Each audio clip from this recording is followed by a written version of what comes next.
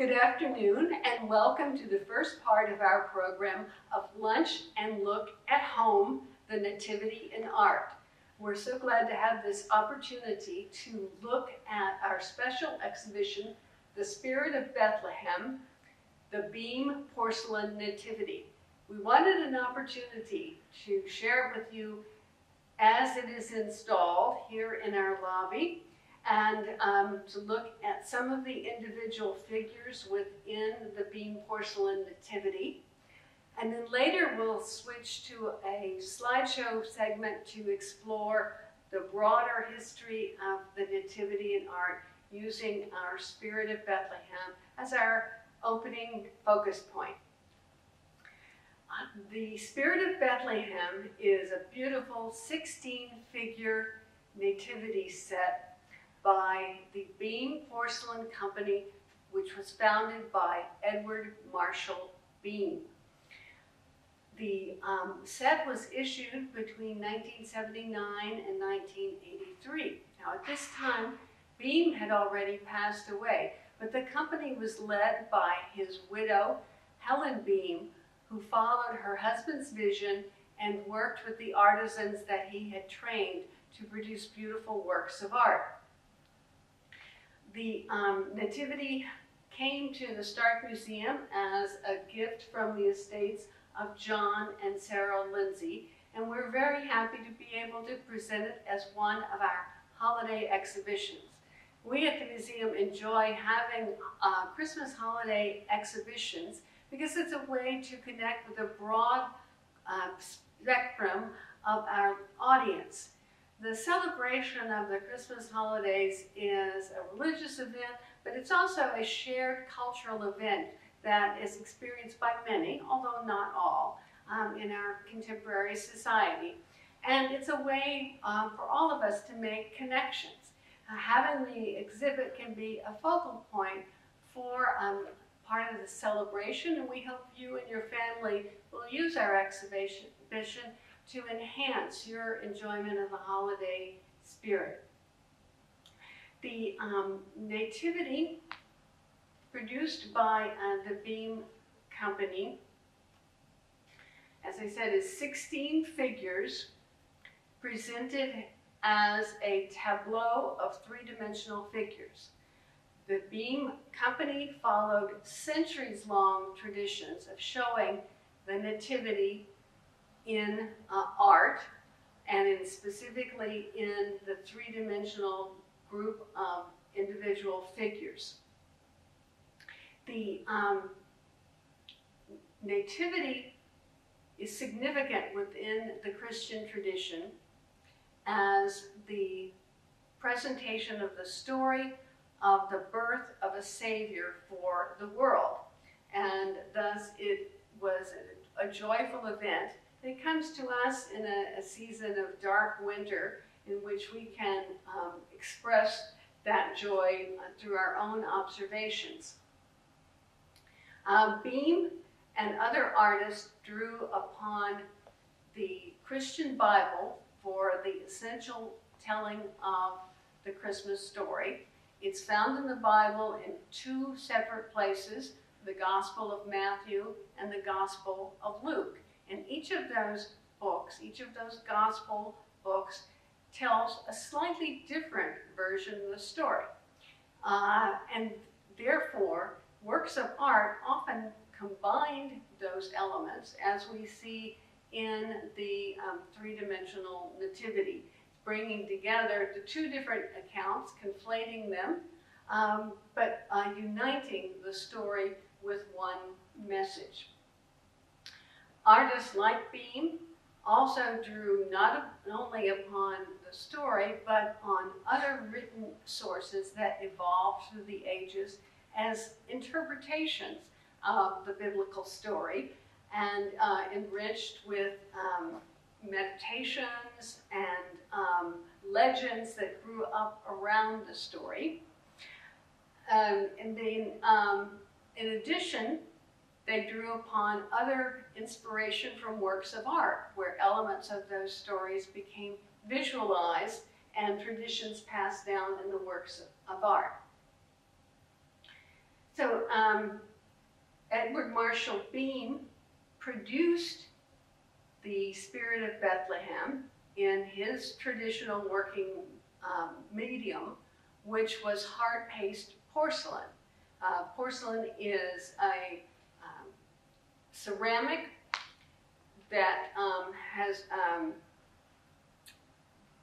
several major components.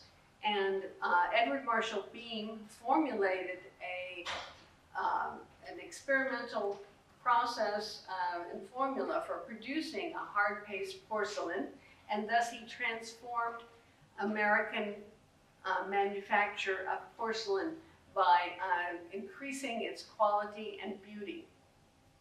He primarily uh, worked in uh, a mode of realism.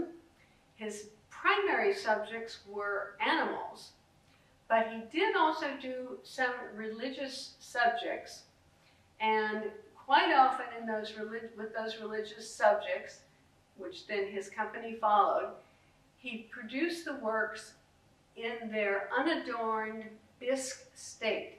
Um, the bisque porcelain is uh, the white surface which uh, emerges as the uh, clay is fired. Uh, other works being wood paint to show real, realistic effects. Uh, his religious works he primarily left in the white bisque state.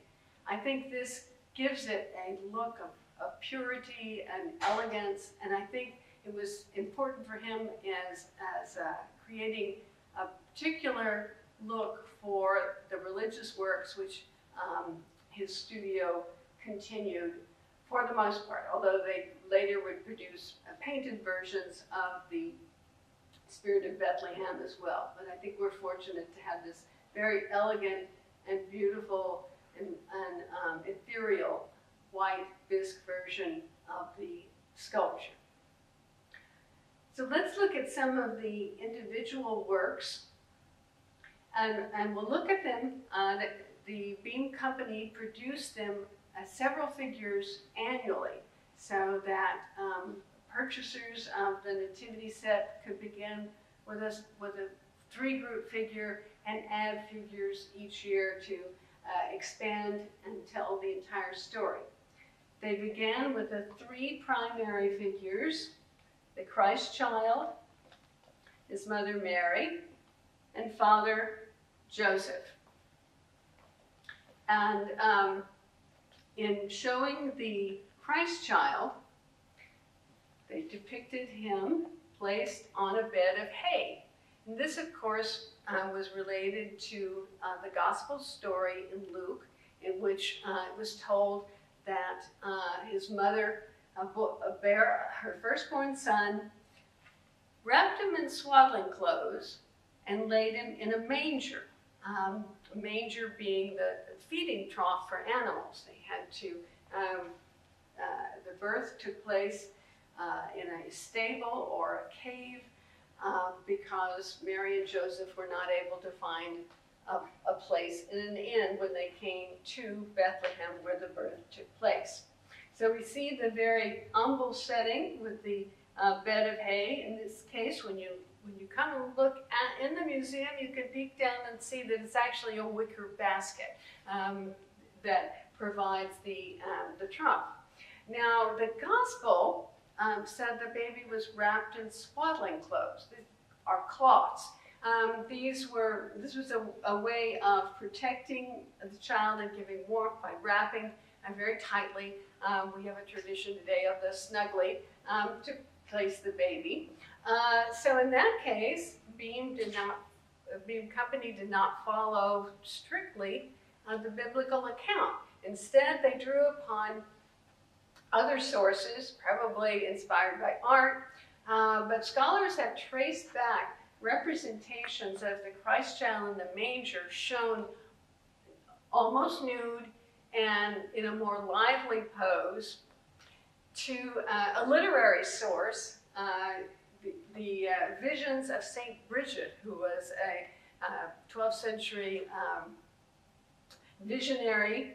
And uh, she described having a, seeing the Christ child naked and um, glowing, uh, and um, her vision inspired artistic representations. It gives the um, artist, such as the, the, Boehm Company, a chance for a, a more lively pose, which what I think you can see in general was important to the aesthetic of the Boehm Nativity. Um, very elegant gestures, very dramatic poses, even within the static formulation of the um, Nativity. So here we see the baby Jesus uh, kicking his legs, raising his arms in, with his hands in a gesture that almost looks like a, a gesture of blessing. He's flanked uh, in our setting by his mother uh, Mary, uh, shown beautifully uh, dressed in a, in a robe with um, wonderful details that look like medieval book um, manuscript um, border decorations. Uh, both Mary and Joseph are shown kneeling uh, because they are shown as uh, adoring and worshiping their child that they know is, is a deity. Um, Mary's often depicted with her hands in a prayer gesture. In this case, uh, they're slightly open, perhaps uh, indicating a movement toward prayer or a movement toward um, her child. Uh, Joseph is shown as a bearded man. He is, um, by tradition, older than Mary, so uh, I think that's one of the details to show the age of um, Joseph. And he carries um, a staff, which was a traditional attribute of uh, Joseph. There was a medieval legend that uh, Joseph uh, was chosen, uh, uh, signified as chosen among many suitors to be the husband of Mary when the staff that he carried uh, miraculously flowered or a dove flew down upon it. So um, Joseph's symbol of the staff is ever present. The next three figures to um, be produced by the Boehm Porcelain Company were the angels. Uh, in the center, we have the standing angel, and to the, to uh, the left, as you face it, the angel with trumpet, and then the lovely kneeling angel, who also um, broadly gestures and appears to be singing. Uh, the angel um, comes from the Gospel of um, Luke, and the angel in Christian tradition and theology is a messenger from God. And in the Gospel of Luke, an angel brings a message to um, shepherds about the birth of the Christ child. That thus the angel brings news to the shepherds um, and serves in that role as the uh, announcer. Uh, the, so that scene is typically called the annunciation, the announcement to the angels, and we'll to the to the shepherds, and we'll see a version of that later in the uh, slideshow. Uh, the angel tells them that they should go to the, the town of Bethlehem from the, the hills where they are with their sheep and uh, worship the uh, Christ child. There's only one angel, and then a host of angels join and sing glory to God. In uh, the Boehm Porcelain, we have um, just three angels standing for that host. Now, actually, in the narrative, the angels disappear after they bring the news to the, to the um, shepherds, but the angel is so important um, in the story that in nativity scenes, there's almost always one angel, and in this case, the three that stand for um, the host. The Boehm Company only described them um, as standing angel, kneeling angel, and angel with trumpet, um, although they also describe them as Neapolitan angels. And in that description, in their original marketing, they are indicating one of the sources of inspiration for um, these figures, and I'll talk more about that uh, in the slide segment.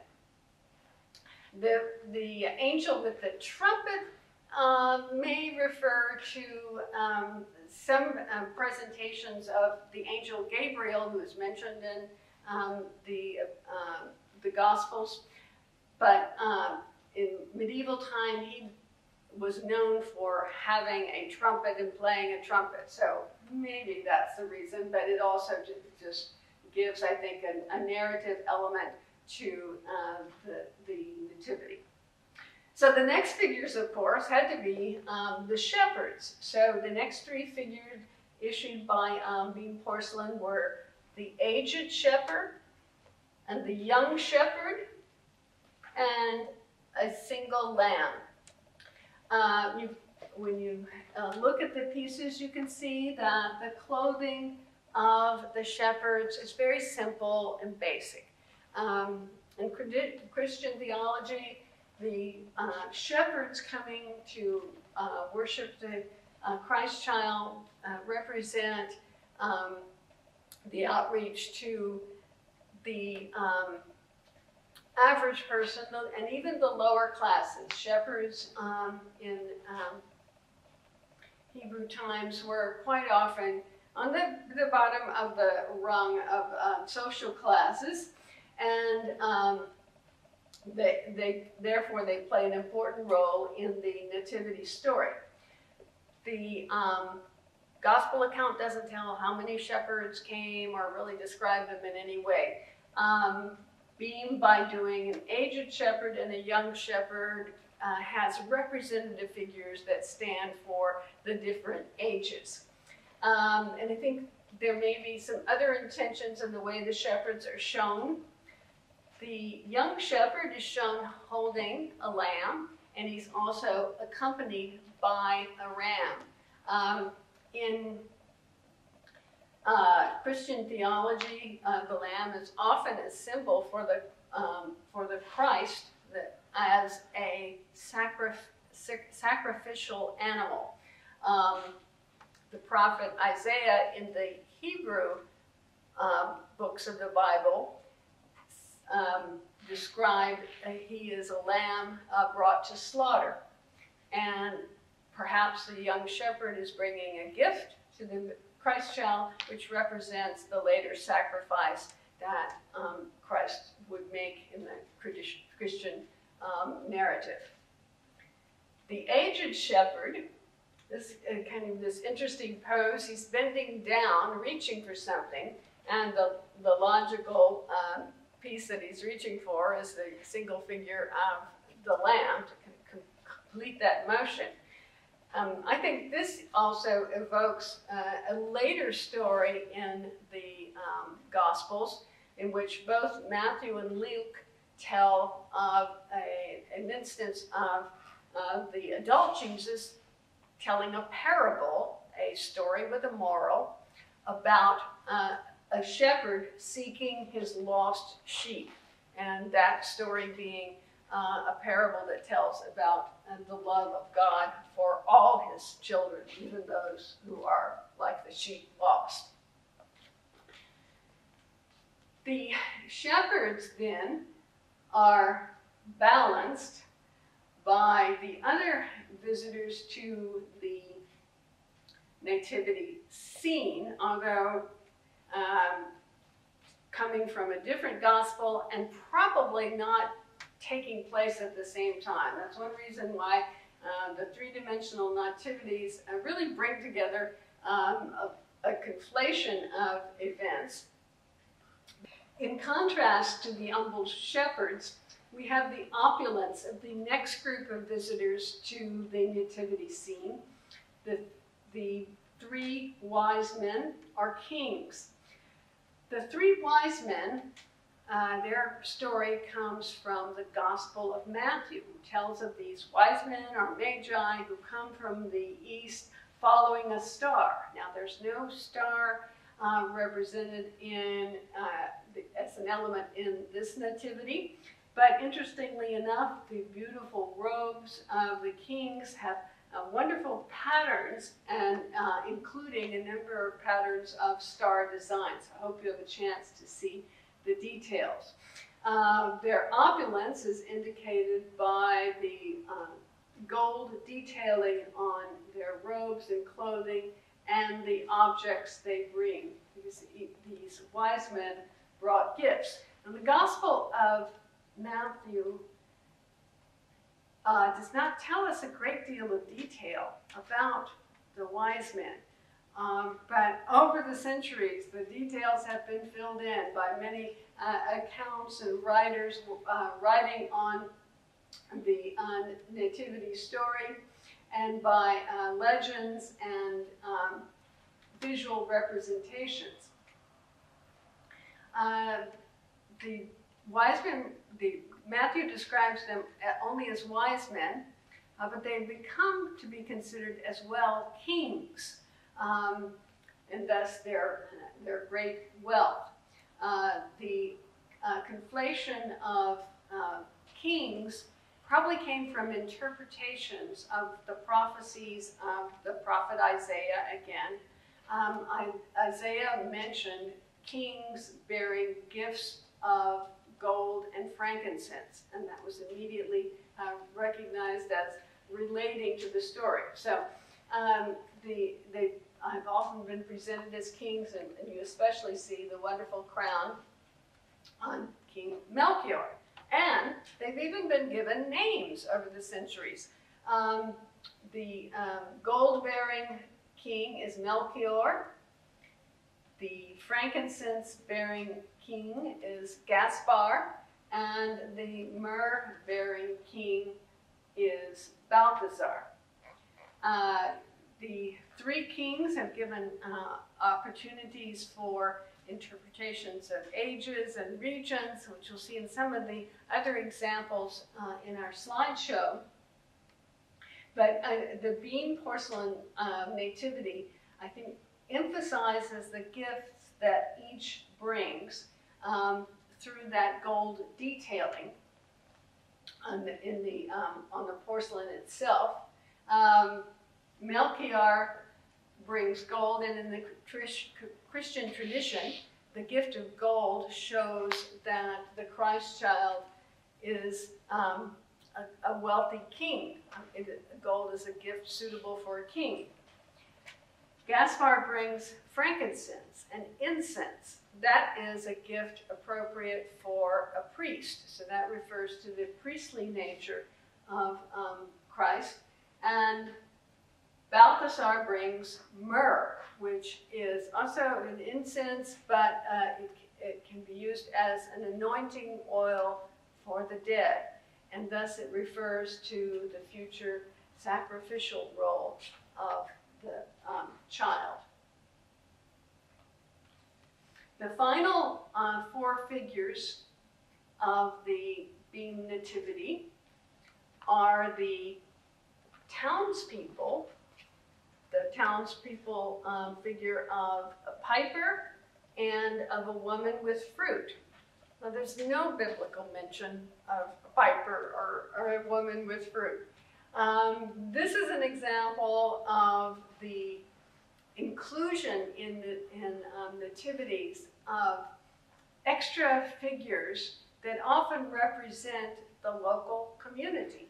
So um, in addition to bringing in the, the shepherds as the, one example of the humble people, the kings representing the entire world um, coming, and the, the wor world of wealth and prestige, and then the townspeople re representing the everyday people. And also the donkey and the cow. Um, of course, the, uh, the, the scene took place adjacent to a manger, a food trough, so logically they're going to be animals. But there's no mention of um, a donkey and a cow in the gospel stories, either Matthew or um, Luke. But they are a predominant element in nativity scenes and uh, particularly in uh, um, the three-dimensional ones. Uh, and again, um, scholars have traced their specific inclusion back to a meditation from the prophet Isaiah, where he said, uh, An ox knows his master, and the um, ass his master's crib, indicating that even the animals would know the significance of, of the birth. And so an ass and an ox are always included in the nativity scenes, and they were among the final figures for the um, Boehm porcelain nativity. So in this look at um, the exhibition and the individual pieces, I hope we've seen some of the ways that uh, the Boehm Company drew on uh, traditions, uh, but as well added their own uh, unique interpretation to uh, the story of the birth of the child. Okay. Now we'll look at um, other examples and the history of the nativity in art and some of the um, ways that this uh, particular nativity came to be. Um, I uh, would like to look a little bit at the origins of the nativity. Uh, quite often, the in the historical accounts of nativity sets, the, it is cited that St. Francis of Assisi helped to originate this idea. Uh, 12 in the 13th uh, century. Uh, this wonderful uh, friar and um, uh, founder of the Franciscan order in 1223, it was reported that he wanted to spark uh, devotion uh, among the people, and he got permission from the Pope to uh, revive the idea of a, a drama of the uh, birth of the Christ child. And in the town of Greccio, he set up an, a manger with a child, probably a doll, and a real ox and ass. And that was seen as um, providing devotion for the people. Uh, art historical scholars um, point out that this tradition that St. Francis has started was very important for liturgical dramas, but perhaps was not the direct association for representations of the Nativity in uh, the visual arts. The uh, representation of nativity scenes in uh, visual arts appear both in religious art and public worship settings, such as churches, and also in private devotions. They date back, uh, as far as scholars can find, to about the fourth century, which was the era in which the Christian church was really strongly evolving. Uh, they appear in um, ecclesiastical settings, but also some personal. Um, the example I'm showing you is, is uh, later. This is a a 12th century carving of the uh, Nativity, uh, but it shows the importance of including it with religious objects. I want to draw your attention here are the ubiquitous ox and ass looking on uh, the child who is shown there swaddled. And then uh, in the lower register, the Mary and Joseph. Mary is shown reclining on a couch.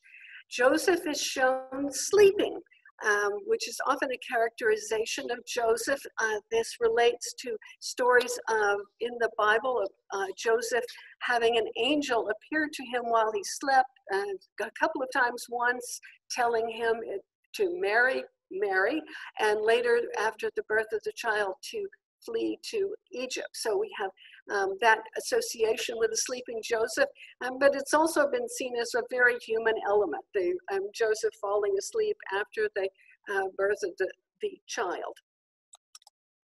Um, the uh, scenes of, around the birth also appear in altarpieces, which were large uh, painted representations uh, in churches. This is a Netherlandish artist, Geertgen tot Sint Jans, who uh, depicted the adoration of the Magi. And so we see our three kings here. We see that they are shown in different ages, one an older man, one a middle-aged man, and one a younger man. And they're shown to represent different regions uh, that they come from. And notice that Balthasar is um, black. He is shown as coming from the region of Africa. And in this way, the kings represented the entire world being uh, coming to adore the Christ child. And in the, a beautiful painting in the background are shown the kings arriving uh, in their with their entourages from all the different locations. The um, Christian story also appears in stained glass, and I wanted to show a couple of examples from our local community. Uh, here is the Holy Family in the First Presbyterian Church here in Orange, Texas. It was made by the J.R. Lamb Studios. And it represents uh, really as well the um, adoration of the shepherds. We see again the idea of the different ages of the shepherd. We see a young shepherd uh, with uh, showing with great emotion in his hand gestures. Uh, then we see the older shepherd looking on. And we also have included a woman and a child who brings the sheep. So uh, this painting of the adoration of the shepherds is particularly inclusive in showing not only the, um, the shepherds uh, in different ages, but including women and children. This um, representation in stained glass is based on a painting, and I'm grateful to uh, Kyle Hood of the Presbyterian Church and other uh, team members there for doing uh, research and identifying the uh, artist, Martin Feuerstein. And I was able to locate uh, the painting that Feuerstein produced that inspired the stained glass. Uh, this is his painting of the Adoration of the Shepherds, which is in a church in uh, Mommenheim, which is in Alsace in France. And Feuerstein was a German painter who was um, a late member of a group of artists who uh, were associated around the idea of bringing spirituality back to art, artistic expressions. Um, they felt that uh, art in their period had become too classical and had gotten away from its uh, religious founding, and they wanted to bring that back into art. And Feuerstein uh, was an adherent of that uh, following uh, late in his life, and they called themselves the Nazarenes, or actually they, they that name was applied to them by those who kind of mocked the, the piety of these artists. And uh, but they adapted that and saw it as a, a badge of honor in what essence. Feuerstein shows the uh, shepherds and he shows them uh, coming to the Holy Family, notice that Mary is uh, wrapping or unwrapping the child to present it for their adoration. Feuerstein's art was especially influential because, as well, uh, the same scene inspired the stained glass representation that is in the First United Methodist Church in Orange. Uh, another beautiful rendition of this story. Um, and um, it was common at that time for the stained glass companies to draw upon European art for um, the scenes that would then be translated into stained glass for American churches. And thanks to um, Beverly Millsap at the First Methodist Church who did the research on um, the stained glass windows in that church. Those are the public uh, versions, but private devotions uh, involving the Christmas story were also very important. And those were often conveyed through books of hours, which were prayer books that were especially prominent in the uh, medieval period. And uh, lay people, people um, who were average members of the church, would use these prayer books to guide them through their daily round of prayers. And there followed a, a set um, designation of scenes that accompanied uh, a prayer at each time of day. Uh, so we have the uh, Nativity was one of the prayers, and I have two examples here from uh, uh, French nativities, one by Jean Bourdichon and one uh, by a combination of artists. And you notice in this nativity, it is the birth of Mary and Joseph with the Christ child. Notice in the Bourdichon one on the left that the um, manger is a, a wicker basket-like form with the child on uh, the bed of hay, and we have the ox and the ass, ass peering there uh, directly uh, behind the manger. And then on, on the right, uh, Christ is now shown, uh, the Christ child is shown uh, rather regally on a red bed um, or couch, uh, veering a little bit from the uh, biblical setting, uh, but um, putting it in the stable and giving it a more royal element.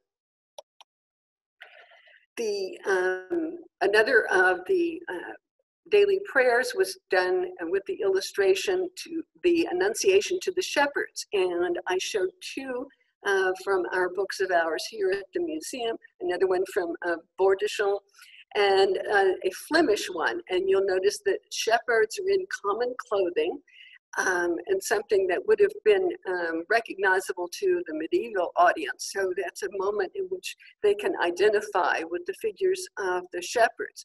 And notice that also each one of these uh, illustrations includes a shepherd who has a bagpipe. Uh, the bagpipe in medieval times was supposedly played by shepherds uh, when they were in their fields as a way of calming the uh, sheep. And so the artists of books of hours incorporated that uh, element into their representations of the shepherds.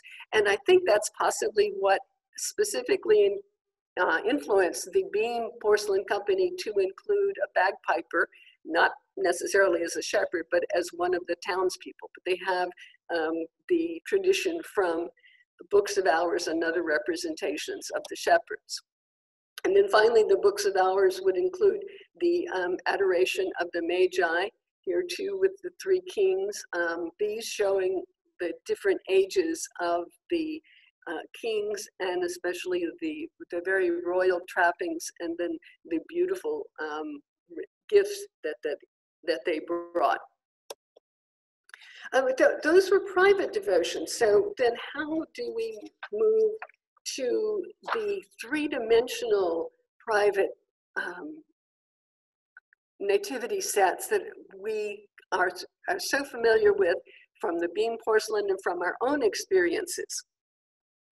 Well, art historians have um, traced um, the first uh, nativity set that was three-dimensional um, miniature version that was established in a church at Christmas time, drawing that distinction that these are done for as part of the celebration of the uh, Christmas event. And uh, the earliest that can be documented goes back to 1567, 1562 rather, uh, a Jesuit and a Jesuit church in Prague, now Czechoslovakia.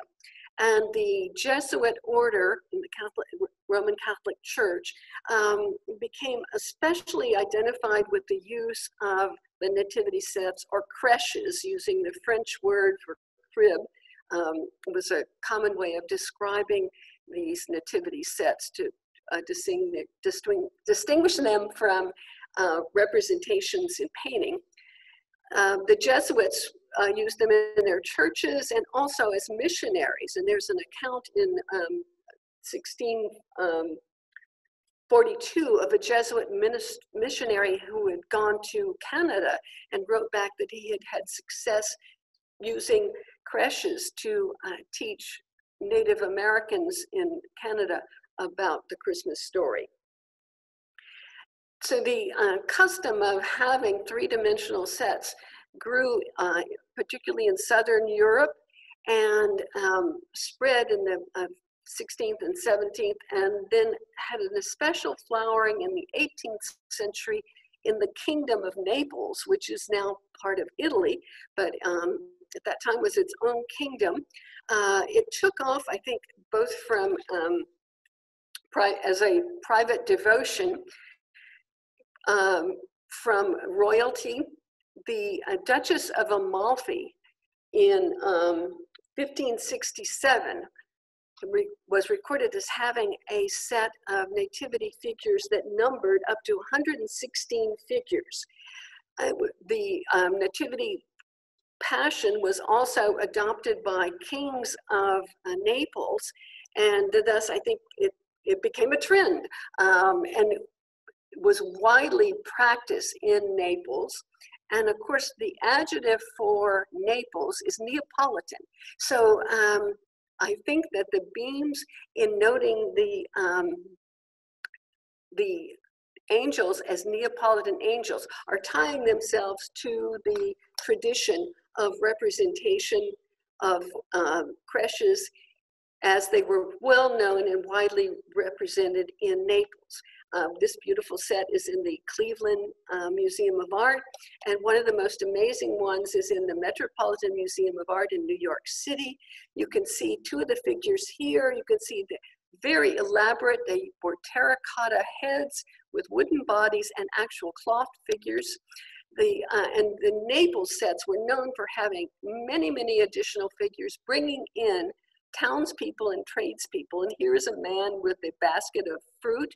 Um, and thus, I think this tradition influenced the Boehm porcelain, including the woman with a basket of fruit that we saw in our um, porcelain nativity. Uh, the uh, the uh, nativity followed those traditions of Naples, but you can see it's much more simplified. It doesn't, it is of course porcelain rather than using the um, actual cloth. Um, Edward Marshall Boehm uh, founded the company, was known for uh, his representations of animals. He did the wonderful series of birds, and those were usually painted to be very realistic. When he did a few religious figures, those were the ones that he left, like the Madonna and the Pietà, in the pure white. It was, his, I think, his widow or his wife, um, Helen Boehm, who was conventionally religious. He, from what I read, is was not. He was not a churchgoer. She was. I think she influenced him to begin the series of religious figures, and then when she inherited the company and led it, she um, influenced the artisans to produce figures like the Nativity. We see her working here with um, the some of the artisans and that she she was responsible for bringing forth the nativity and making it part of the uh, Christmas celebration, uh, something that many of us do. Uh, we respond both to the beauty of the scenes, but there's also something playful. Um, nativity scenes are somewhat like a doll's house, and I think it, it uh, responds to uh, several emotions, and it's one reason that many of us collect and um, treasure the nativity scenes that we have personally. Our education department has started a Facebook post where you can um, post a, a picture of your nativity scene and include it with some of your comments about uh, your special uh, adherence to the nativity tradition. These are two from our family. One, um, uh, the Lorraine Brock made nativity, and one um, from a Southwestern Native American tradition by uh, Santa Clara Pueblo uh, potters. And I, I hope that um, this will inspire you to participate and enjoy the holiday season uh, from your own perspective. Um, before we conclude, uh, I want to ask if there are any more questions concerning the nativity. Well, Sarah, one question that popped up in the chat while we were, um, while you were sharing your slides was uh, Dina asked if there were any additional figures to our nativity set. And I told her I believe our set is complete, though, um, as you mentioned, he did do some other religious figures. Can you talk a little bit more about that? Yes, um, there may have been some um, additional figures that were later produced um, after Helen Boehm um, sold the company to another um, uh, person, uh, that's when they did a painted version. And one of the, the painted version was presented by the then owner to one of the popes. So there is a Boehm uh, porcelain nativity in the papal collections, um, but it, is a, a, painted version. Uh, most of the figures that Edward Marshall Boehm made were those uh, Madonnas. He did um, a, he did a St. Francis, and he uh, did um, a, a few other figures for private commissions. Any other questions? You have a question in the comments or you can, um, you can unmute yourself to ask a question.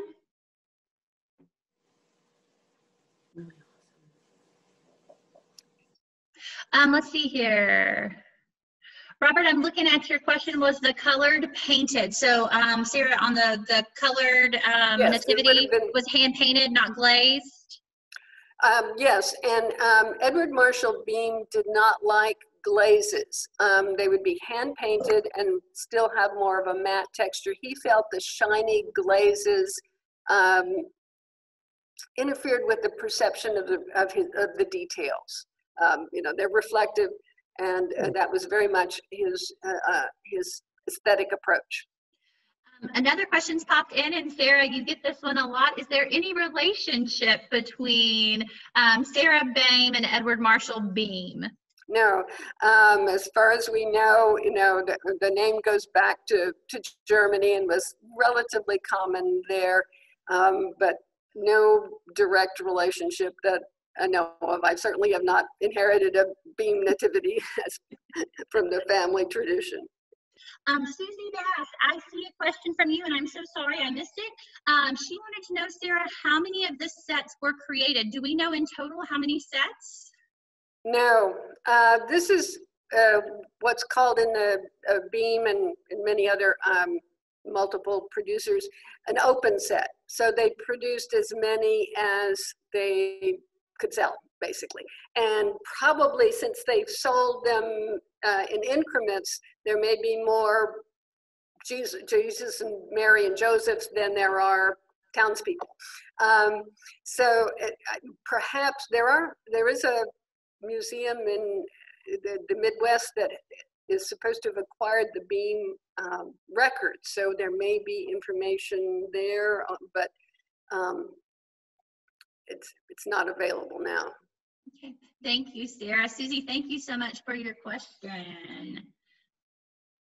Well, I think at this time we want to, um, we said we were going to go to one o'clock. I'm going to stay on for a little bit longer, but I don't want to keep you longer than we asked. Thank you again for joining us and thank you for your patience with us as we dealt with some technology issues. Um, we wish you the happiest of holidays. I also want to give a quick reminder that um, our um, colleagues from the WH Stark House are doing a lunch and learn next week at noon on the history of the American Santa. That is from 12 to 1 p.m. Um, it's going to be a great program. So we hope that you will join us if you can for that. You can find that link um, at the Stark Cultural Venues website or on our Facebook. It's been shared there. So I'm seeing a couple people saying they are already signed up. Um, so thank you again. Have a happy holidays, and we look forward to seeing you either at our next online virtual program or here at the museum soon.